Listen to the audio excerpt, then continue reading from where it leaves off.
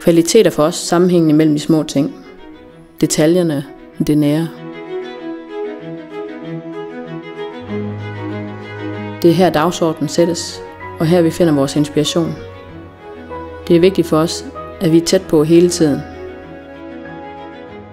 I marken, i naturen, i restauranten og sammen med børnene. At vi er til stede i det, vi gør, og vi tror på det.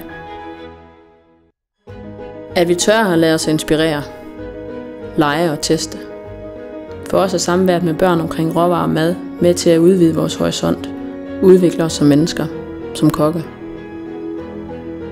Børn har en anden tilgang til ting, opleve ting på en anden måde, en ny måde.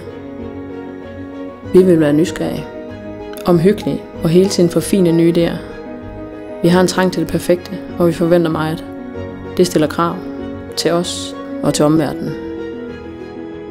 Vores valg er aldrig tilfældige. For os er det vigtigt, at vi udfordrer hinanden og os selv. Alt det, som i sidste ende skubber os, flytter os, men som også danner rammen om os og skaber helheden. Vi vil give mere end gastronomiske oplevelser.